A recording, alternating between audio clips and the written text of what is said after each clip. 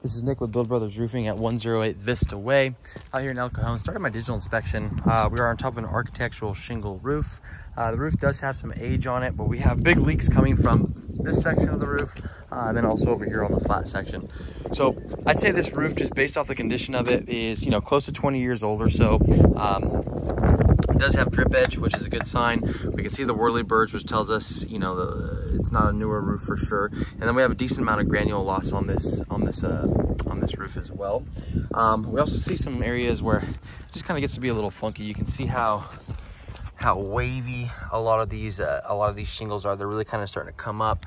Um, over here, same thing. You can see how these shingles are, are starting to protrude right here. And I'm not sure why, but water is gonna end up sitting there every time it rains. Um, you can see that the majority of the sealant along the penetrations uh, is starting to go as well.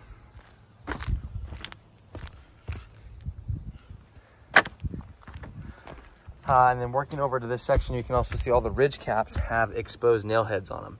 So each and every one of those exposed nails head, nails head, nail head is uh, is a leak waiting to happen. So we, ne we never want to see that on a newer roof. So all that to put together tells me this roof is, you know, probably close to 20 years old or so. Again, we have a leak coming from this section right here. Unfortunately, with these solar panels and how low profile panels they are, it's, it's impossible to see where this leak is coming from uh, without tearing these panels off and seeing what's underneath it.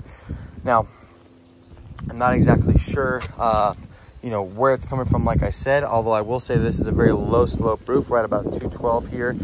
And if we go ahead and, and are penetrating these panels um, or the, these shingles for those solar panels and there is not a good underlayment already underneath this roof, well then that's always gonna be a leak waiting to happen. So my suggestion as far as a fix goes for this section, no matter what, these panels are gonna have to come up. Um, so the best thing for this homeowner to do is to redo this entire roof plane. So we lift these panels up, we're gonna remove and reinstall them.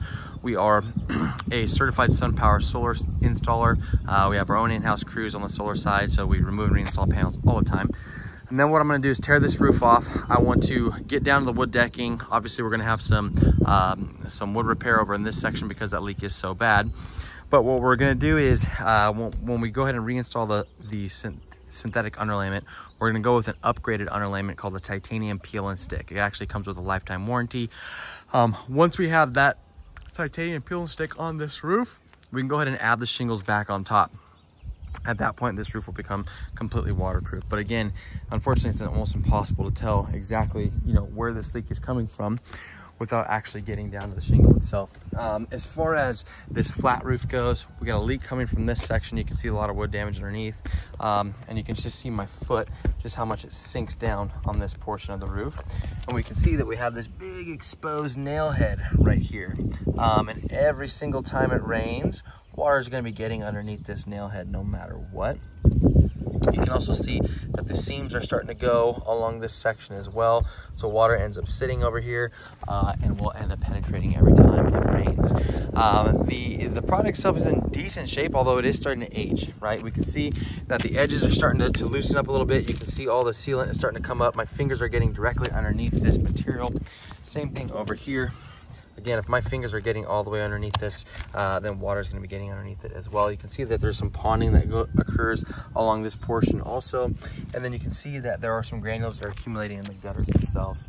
Um, so just based off that, if the homeowner would like to be proactive, seeing as how there's already a big leak coming over from this section, what we can do is put a layer of synthetic, I'm sorry, not synthetic, a TPO on this flat roof.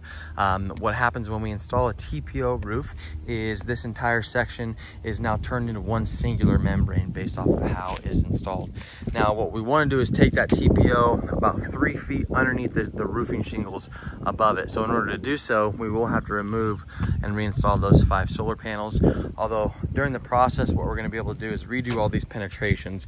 Uh, we'll redo this chem curb, make sure that that is done properly so that we're not seeing any leaks coming from this portion. And then it's also gonna go ahead and include this section as well. Um, so now as far as where leaks are coming from, we're gonna know this whole section will be brand new. Um, if the homeowner wants to redo the whole roof, you know, he can be proactive about it. This roof has a few years left in it. I mean, I'd say it has another, you know, five or seven years left in it. Um, so it's gonna have to go sooner or later. So again, it's up to the homeowner as far as what they want to do. I'm going to present him with a few different options. Um, but as far as the uh, the roofing repair goes, again, my suggestion, we'll redo this whole roof plane, add a layer of titanium peel and stick underlayment, remove and reinstall these solar panels, and this way this homeowner won't have to deal with this issue anymore um, because it seems like this is gonna continue to happen until it gets fixed.